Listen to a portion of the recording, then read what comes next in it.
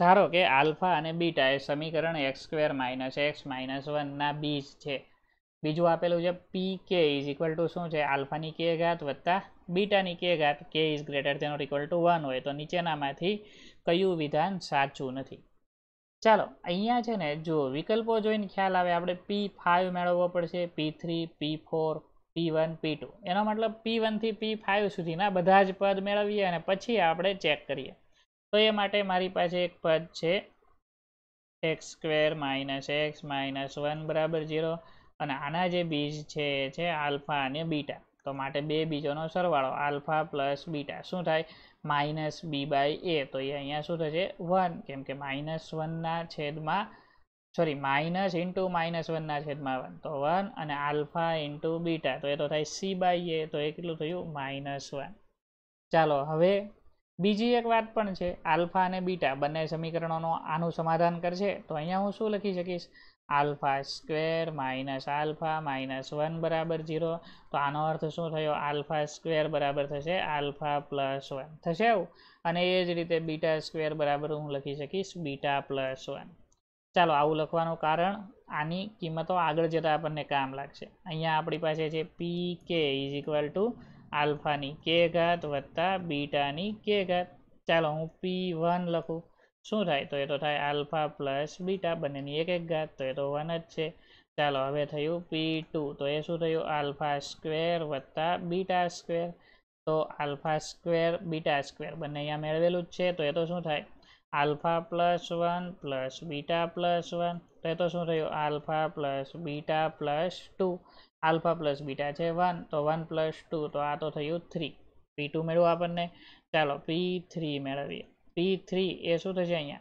Alpha cube plus beta cube. શું કરું? હું એક કામ કરું. અહીંયાથી આલ્ફા સ્ક્વેર ઇન્ટુ આલ્ફા કહું. અને plus beta square into beta.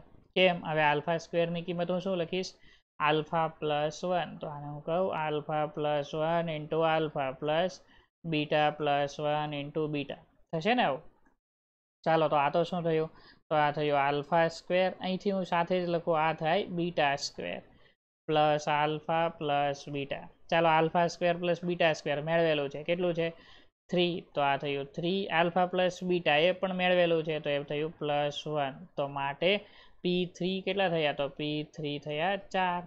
ચાલો, આગળ વધીએ. સમજો, હું પી ફોર મેળવું. અહીંયા P three P two P one હવે વધીએ પી ફોર તરફ. પી ફોર એટલે આલ્ફાની ચાર વત્તા બીટાની ચાર. શું લખીએ? તો તો અહીંયા જ લખીએ. તો, આને હું કહીશ alpha square into alpha square plus beta square into beta square તો આ તો થયું આલ્ફા સ્ક્વેર આલ્ફા સ્ક્વેર એટલે તો એ થાય alpha plus one plus beta square અને બીટા પ્લસ વન થશે?